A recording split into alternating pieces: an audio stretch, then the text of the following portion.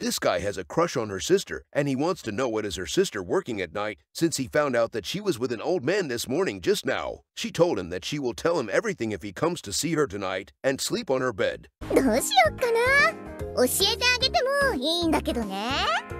な、なんだよ言えよじゃあ後で公平にいいもの見せてあげるよ今晩は私が当番だからねはあ当番いいもの 何をするつもりなんだあ Well, that caught him off guard, but he will definitely come to see her and see her to come